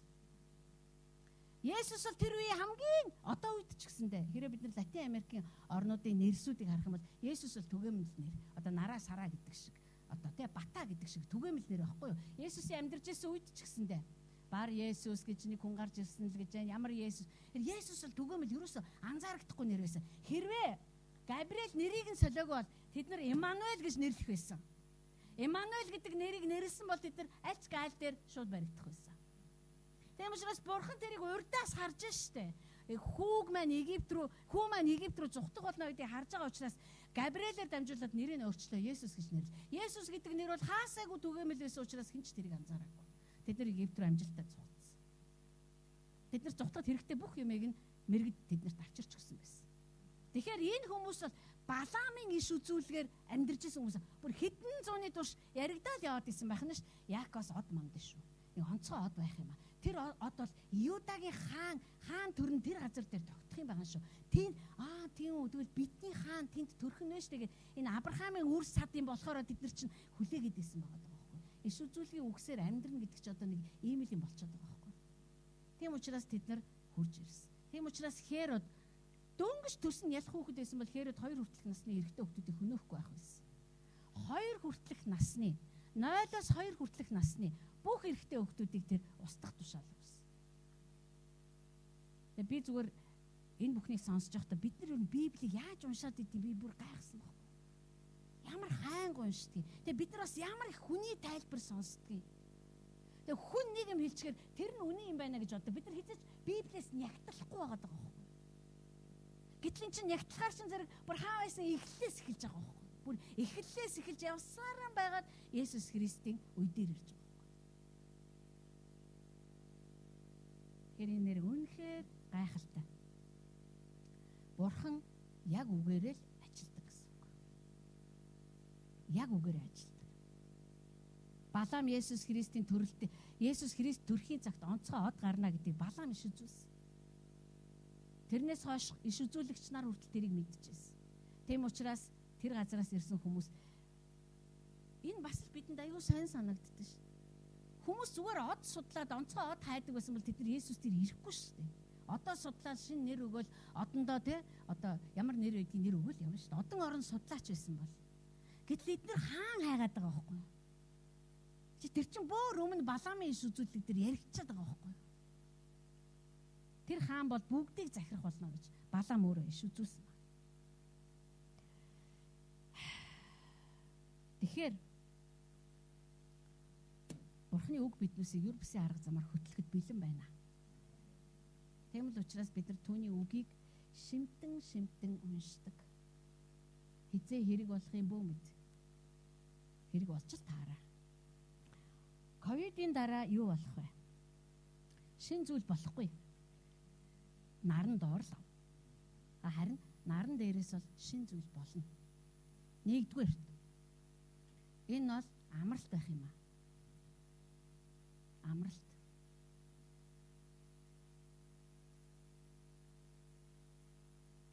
Амлалтын газар гэдэг бол амралтын газар байсан. Амлалт, амралт хоёр адилхан гэсэн үг. Цөмөр а Египтээс гарсан номын 33-ыг харъя. Египтээс гарсан номын 33. 33-ийн 14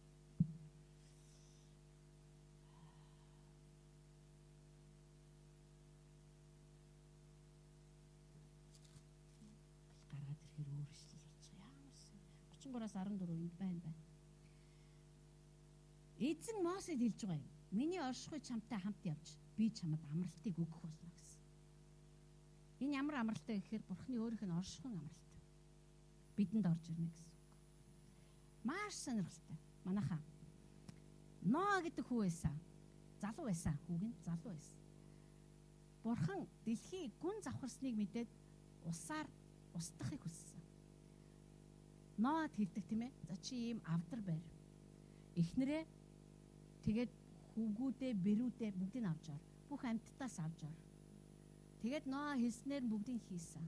Бурхан бүгдээрийг нь оруулсан. Хамгийн сүүлд нь Бурхан хаалгыг нь хаасан.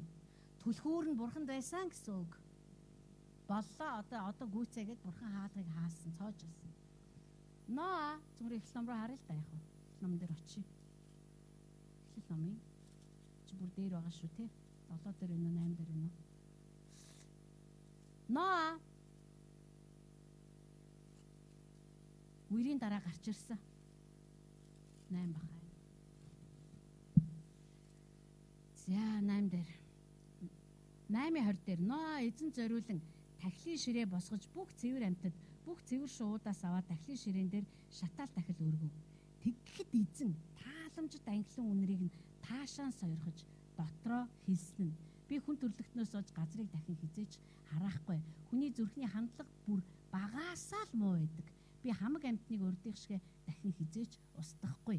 Газар дэлхий байсан цагт тариа тарих болон ургац сурах хүйтэн ба халуун зам ба өвөл өдөр ба шөнө тасралтгүй үргэлжлэх болно гэжээ. Бурхан Ноаг болон түүний хөвгүүдийг өрөөнд тэдэнд та нар олон үр хүүхэдтэй өнөр өтгөн болж газар дэлхийг дүүргэхтөө газар дэлхий дээрх аратан амтан бүхэн окторгон жигүүртэн шувуу бүхэн газраар мүлхэгч бүхэн далайн загас жараахаа бүхэн та нараас айж имэнэ. Тэд та нарын гарт орно. Альва амьд амтан та нарын хоол хүнс болно. Би та нарт урмал ногоог өгсөн шигэ одоо би энэ бүхнийг та нарт өгч байна та нар зөвхөн махыг нь ам болох цустай нь идэж болохгүй. Тэгвэл би та нарын цус амин цусыг заавал нэхнэ. Амтан бүрээс ч би түүнийг нэхнэ. Хүн хийгээд хүний ах дүүс нэг бүрээс би нэхнэ. За ингээд та нар дэлхийг дүүргээд амьдраарай гэсэн. Одоо энэ шиг хямрал гэж байх вэ манайхаа? Усан үер буугаад 8 хүн хүн амьд гарсан. Одоо энийг одоо энийг хямрал гэхгүй одоо өөр юу гэх вэ? Энэ хямралын дараа бурхан Ноа үгүй Ноа гарч ирэнгүүтээ өөрөө дахил өргөдөг. Бурхан түүнээс дахил өргөөрэй гэж юусоо зааварчлаагүй шүү дээ. Ноа өөрөө дахил өргөдөг бурханд тэрс үнэхээр таалагдсан. Тэм учраас бурхан бүр дотроо юу гэж хийсэн гэж би дахиж ингэж хүн төрлөختийг бүхлээр нь устгахгүй. Хэдийгээр бүр хар багасаа л эдний зүрхийн хандлага ёрын байдаг ч гэсэн би дахиж устгахгүй. Би чамд хэлж байна чи өрөөгд чи үрж чи олшир энэ энэ дэлхий дээр байгаа бүх зүйл нисдэг хөвдөг одоо яадаг давхдаг мүлгдэг бүгдээрээ чамаас айх болно чи бүгдийг захирах болно Чи зүгээр л эдгээрийг одоо захирч амьдраа. Ид. Ганцхан чи цусыг нь битээ холж идэрэй.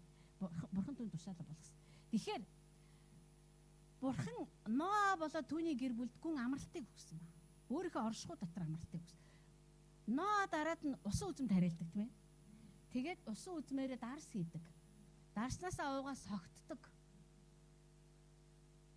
Тэгээд тэр уруудж эхэлдэг үндсэндээ бол. Хямрал бүрийн дараа бурхан хүнд амралтыг өгдөг. Ганцхан хүн тэр амралтыг одоо тэр амралтын дотор хүн баттай тогтоогдож чаддгүй. Ноо тэр амралтын дотор орсон. Одоо одоо ингэж орохоос илүү яах юм бэ? Дэлхий дээр өөр хин чалга. Зүгээр улаанцаа Христ чинь 8 хүн л байна. Одоо энэ 8 бол одоо зүгээр одоо тий цэвэр ухсаа жинхэнэ Христ чинь шинэ үйлдвэрийг бий болгож болохоор шүү дээ. Гэт ноод чадаагүй. Магадгүй түнд хямралын дуу хоолой сонсогдсон хിവэр байсан баг. Зүрхэн дотор хямрал нь байсан баг. Тэр үхэж байгаа хүмүүсийн ойрлоо одоо тий гэж одоо бодолтой. Одоо мэдгүй бид нар бол тэрийг төсөөлж чадахгүй яа гэвэл бидэнтэй тийм тохиолж байгааг учраас. Зүгээр л бид нар энэ тэнд үхэл хагцал тохиолдоход бид нар ямар аймар юм бэ гэдэг шүү дээ. Бид нар яаж амьдрах юм бэ гэдэг үстэй. Зүгээр хоёр хөөхөн охин замын хажуугаар явжсэн чинь зүгээр нэг солиотой өхөн тавьж ирсэн. Зүгээр зүгээр ингээд одоо тий замын хажлагтаа зүгээр нэдрээд явцсан ч байж шиг. Тэгээ бид нар үр хөвгттэй ногоон гэр дээр гараарай, гарцаар гараарай. Одоо ингээд тий ямар баталгаа байгаа юм. Тэгээ тэр зам дунд одоо хинч галзуурж болох нь шүү дээ. Хинч одоо солиорж болох нь тий. Хинч хурж ирээ төс идэл мөргөж болох нь шүү дээ. Та өглөө баяртай ээж нь орой эрэхтэй тийм авцарнаага гарсан бол орой тань лу гэрлүүч уцтай ээж чинь нас орчлаа гэж хэлж болох нь шүү дээ. Яасан бэ сохтууж болоод дайраад алчлаа. Эсвэл галзуу хүн хурж ирээ мөргөөд алчлаа. А харин тэр үед бол жинхэнэ хямрал болсон. Тэр хямрал бол үер байсан. А үерийн дараа бурхан хүндээ амралтыг өгсөн. Хүнийг тэр амралтын дотор байгаасаа гэж үздэг. Тийм учраас тэр Мосед юу гэж хэлсэн бэ? Насан туршдаа чи миний амралтын дотор байх болно. Учир нь миний оршихуй чамайг дагаж явна гэсэн байна. Тэгэхээр асуудал юундаа вэ нэ гэхээр бид нар тэр амралтаа амралтаа бидэнд амлаж байхад бид нар түүний оршихуй дотор амьдрч сурах хэрэгтэй. Байнга орж гарч биш. Яа тэгэл бид нар одоо ямар ч асуудалгүй үе бидний амьдралд байдаг. Тийм биз дээ. Бүх юм дажгүй те болж нөө мөнгө цаас олоод ажил төрөл дажгүй би чинь байнга дэвшээл одоо яагаад дөө мэдгүй одоо. Бүх юм цаанаасаа өстө өө өрөөгж байна би нэр үнэндээ аргагүй. Би тэгэхэд тэг залбирсан байгаа юм. Тэгэл бурхан намайг ингэдэ мэнгдэ гэж бид нар чинь галзуурж өгдөг. А за тэгэл хямрал болдог. Шүүгчд ном тэр чигтээ хямрал ба амралт, хямрал, амралт, хямрал, амралт, хямрал, амралт. Бурхан хүмүүстэй амралтыг өгдөг яагаад гэвэл хайртай учраас. Харин тэд нар амралтыг нь даадгүй яагаад гэвэл оршууд нь байж чаддаггүй. Тэд нар дотоод хямралаа шийдэж чаддаггүй. Энэ доторх хямралаа шийдэж чаддгүй. Бурхан биднээс ковидын дараа амьд үлдээчихэд ахтал бид нар ковидаас айгаал байдаг. Яна өгчих үедээ, тусчих үедээ Харин бурхан биднийг гаргасан байхгүй юу? Бид нар хэд үхэж болох байсан хин хэлж мэдх юм бэ? Би л уушгиндаа хатгаа авчаад би 10 хоног л явсан шүү дээ. Гэхдээ үхэл үхэж болох л байсан шүү дээ. Гэтэл бурхан үхгээ үхгээгүй байхад үхэхгүй л байгаа байхгүй юу? Бурхан үхгээгүй байхад хин ч үхэхгүй. Болчмор бор шувуу хүртэл үх гэхгүй бол үхэхгүй гэсэн шүү дээ. Тэд нар хоол ирж хүнсний хямралд ордгоомаа гэсэн Есүс Матай номон дээр. Одоо яана бид нар одоо энэ үр тариа амар үнд орчжээ. Манайхаа одоо яах вэ? Юу идэх вэ гэдгүү бид нар тарга хിവэрэл байдаг. Есүс яагаад тийм сонин болжмрыг бид нартай зүүрсэн. Яг л та нар зүгээр болжмрыг хараачсан. Бүр болжмроос сураач. Тэд нар хямарддаг байхгүй. Гэтэл та нар зүгээр гурилын 3500 боллоо гэж орилоо. Одоо би цаашаа яаж амьдрах вэ? Тэгэхээр бурхан бид нар энэ доторх хямралыг яаж гаргаж ирэх вэ гэхээр бид нар түүний оршууд амьдарч сурах хэрэгтэй болчиход байгаа байхгүй байнга тогтмол бүр өдөр болгон өөр одоо миний хийж байгаа ажил тэр л байна одоо яг одоо За харахад бол би яаж ийнө гэхээр яг өглөө осол хүмүүсийн цай хоолыг бэлдээл өдөр хоолыг нь бэлдэж би ийм ажил хийж байгаа. Харагдахгүй миний ажил юу гэх би түүний оршууд амьдрахыг л сурахыг хүсэж байна. Яг л энэ хямралын дараа миний дотор хямралын үр үлдэх Хямралын дараа ямар нэгэн одоо вирус үлдсэн байх вэ? Тэгээд би түүний амралтын дотор удаан амьдарч чадахгүй мултарж гарах вэ? Түүний амралт бол түүний орших вэ? бид нар тэр оршихуй дотор амьдрахаар дуудагдсан. Тэр оршихуй бидэнд үнгүй өгөгдсөн. Үнгүй нээгдсэн. Тэр оршихуй дотор бурхан биднийг амьдраач ээ гэж хүссэн учраас тэр биднийг өөрийнхөө хүүгийн цусаар худалдаж авсан юм. Тийм учраас бурхан ямар нэгэн хүнд хэцүү хямрал болгоны дараа хүн төрлөختөнд амсхийг амралтыг үргэлж өгдөг. Филипп пастор нэг удаа тэгж ярьж ирсэн. Еврейчүүд их ухаантай. Тэд нар дэлхийн 2 дугаар дайн дуусны дараа сургууль барьсан юм а гэж. Яагаад тэд нар ухаантай? Яагаад гэж мэдж байгаа хгүй. Хямралын дараа бурхан амралтыг өгдөг. Тийм учраас бид нар хин өхөө, хідэн хүн өхөө гэж уйлж гашуудахгүй харин бид нар амралтанд нь амьдрах ёстой. Тийм учраас нар сургууль ирсэн байж шүү дээ. Мэдчихэж ш бид нар чинь зарчмыг мэдчихэж ш.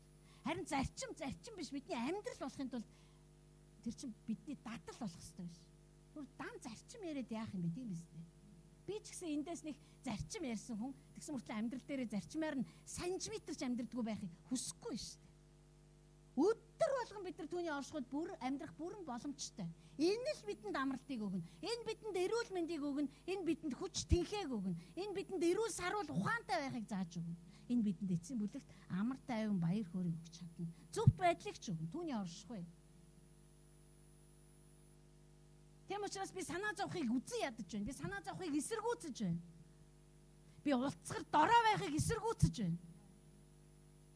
Та миний хүч чадал, таны баяр хөөр миний хүч чадал. Яг л та өөрийн ариун хүмүүсийн дунд бүр дайчин баатар мэд зогсоод баярын ухаагаар хашгирдаг шүү дээ. Би өөдөөс нь өөр юм хашгирамааргүй. Аава яана гурлийн үн өсчлээ. Өө бурхан минь ээ. Израилчууд эдийн засгийн ямар л хүндрэл байж болох бүгдийг туулсан. Бурхан иш үзүүлэгчээрээ дамжуулаад хийсэн. Маргааш гэхэд кил гурил зүгээр зүгээр задгаа мөнгөөр зарагдан заа юу. Маргааш удаа маргааш. Кил гурил кил будаа зүгээр задгаа мөнгөөр зарагдана. Ямар ч үнгүй болсон байх болно. Тэгэхэд нэг төшмөл за тийм юм байхгүй та эдийн засаг статистикийн ухаанаар бол тийм байхгүй. Бурхан тэнгэрийн цонхыг нээсэн ч тийм хийж болохгүй. Харин маргааш нь тийм юм болсон бөгөөд Тэр түшмэл харин амсаачгүй, идээчгүй, хүртээчгүй хүмүүсийн хөлдор нурж өгсөн. Бурхан юу хийж үгүй энийг шин юм гэж хэлээд байгаа байхгүй. Эн чинь наран дор болохгүй, эн чинь нарны дээрээс ирэх юм байна. Бидний ам амаар энд бичигдсэн үгсүүд чинь гарч хилэгдэж хахад энэ энэ үндэстэн дотор биелэгдэх боломжоо олж яана гэсэн үг байхгүй. Зарлагдаж байна шүү дээ. Одоо эзний үндсэн хууль одоо тий эзний хуулийн зааснаар бол одоо ийм юм болох юм аа. Бид нар үнэхээр олон үндэстнүүдээс хамааралтай байгаа нь үнэн. Бид нар нэрээ үнэхээр залхуу байгаа нь үнэн. Нэрээ бид нар арчаагүй байгаа нь үнэн. Гэхдээ энэ үннээс энэ үнэнтэй харьцахгүй үнэн гэж байдгийг. Энэ үнэнтэй ойртохчгүй үнэн гэж байдгийг. Энэ үндэстэн зүгээр залгидаг үнэн гэж байдаг л аахгүй. Тэгээ тэр үннийг л бид нар эндээс ярьж энэ үнэн л бид нар зурж энэ үннээр л бид нар амьдрах хичээдэг. Харин энэ үнэн бол үнэхээр гүйцэн, гүйцэх хүчтэй. Тэгэхээр тэр амралтыг өгөх болно. Бурхан өөрөө 7 хоног 6 хоногийн турш дэлхийг бүтээсэн 7 дахь өдрөө тэр хүнээ бүтээгээд тэгээд амарсан баг. Амралтыг өгсөн баг хүн төрлөختний түүхийг харах юм бол амарсан байгаа. Дэлхийн 2 дугаар дайны дараа ч гэсэн амарсан байгаа. Дэлхийн 1 дугаар дайн 4 жил үргэлжлээ дуусахдаа тэд нар инхийн гэрээ байгуулад дайны галыг зогсоогоод амарсан байгаа. Ганцхан хүн төрлөختөн тэр амралтыг удаан барьж тогтоож чаддгүй. Амарч мэддэггүй гэсэн. Бурхан бурханаас хүн төрлөختөн холдох тусмаа амралтыг мэдхэ байдаг. Өөрсдөө Христэд итгэж нар ч гэсэн өнөөдөр яг тийш эзэн дотор амарч мэддэггүй юу юус. Би ихгүй болохгүй, би л хөдлөхгүй болохгүй, би л явахгүй болохгүй, би ярихгүй болохгүй, би л тэр хүний төлөө залбирахгүй болохгүй, би л тэр би сүмийнхаа хүмүүсийн төлөө явахгүй болохгүй, би л ингэхгүй болохгүй, би тэгэх ёстой, би ингэх ёстой. Юурээс эзэн дотор амарч мэддэггүй. Тийм учраас дуулал намдаар юу гэж вэ? Түрүү 46-аг уншсан. Гэхдээ та нар зүгээр дууг болоод намайг эзэн гэдгийг мэдээд тааж. Ямар хэцүү юм бэ? Ирээлжлээд ингээ урдаар гүгээд бид нар түүнийг эзэн гэдгийг нь таних хэрэгтэй байхгүй. Би таныг ятгаж байгаа шиг би өөрийгөө ч ятгаж. амралт ирнэ. Хоёр дахь нь би тэгээ таныг энэ талаар үргэлжлүүлээ судлаасаа гэж хүсэж байгаа. Библийг уншиж байхдаа та хаа яаж хүмүүстэй амралт гэж шүүгчд бол тэр чигтээ. Хямрал амралт. Хоёр дахь зүйл бол бялхалт байгаа. Бурхны оршихуй дотор амарч яхад амралт байгаа юм бол бялхах нь ойлгомжтой. Энэ зүгээр л нэг эдийн засгийн эдийн засаг тэдэн хувиар дээшлэх мэйшлэх биш юм манайхаа. Энд чи бүр бялхал. Одоо. Бялхал. Энэ бас наран доороос ирэхгүй. Энэ дандаа наран дээрээс ирнэ. Хүний нүд үзээгүй. Чигч сонсоогүй нэ. Одоо таны таны чиг сонслоо штэ. Одоо нүд чи үзнэ Таны санаанд ороогүй байсан бол одоо хилчлээ штэ. Энэ наран дээрээс ирнэ. Бялхал. Бид нар түүний оршихуй дотор амьдарч амарч хахад бялхал орж ирнэ гэсэн. Зүгээр л орж ирнэ. Зүгээр л орж ирнэ. Би энд бат итгэлтэй байна. Би үүнд итгэсээр ч ирсэн. Тийм л байх хэвээр. Бидний бурхан тийм л байж бурхан гэж дуудагдах хэвээр байхгүй юу? Гэхдээ тэгж чаддгүй бол бурхан бол бурхан биш шүү дээ. Зүгээр 250 мянган төгрөгийн төгрөг тушаагаад хиймрийн сан уншуулангууд тийм юм байхгүй. Логикоор бодоход байхгүй. Гэтэл хүмүүс уншиж байгаа даа гэж итгэдэг. Өнөөдөр яг уншдаг ч юм уу бөө мэд. А эсвэл уншижсэн ч өөр юм бодож идэм бөө мэд. Харин бидний бурхан бол жинхэнэ бодит бурхан байхгүй. Бид нар түүнд хідэн төгрөгийн ном уншуул түүнд мөнгө хэрэггүй. Тэр хэлэхдээ дэлхий тэр хэлэхдээ газар хийгээд түүнийг дүүргдэг бүхэн. Дэлхий хийгээд түүн дээр оршдог бүхэн. Хүнийг хэлж байна. Бүгд минийх бөгөөд надад үйлчлдэг юм аа. Энэ ертөнцийн хамгийн гүн ёроол минийх. Энэ ертөнцийн хамгийн өндөр оргил бас минийх. Алтанч минийх. Мөнгөнч минийх. Мянган толгод дээр бичдэг мас сүргэнч минийх. Та нар юу ч над шиг эзэмшдэггүй.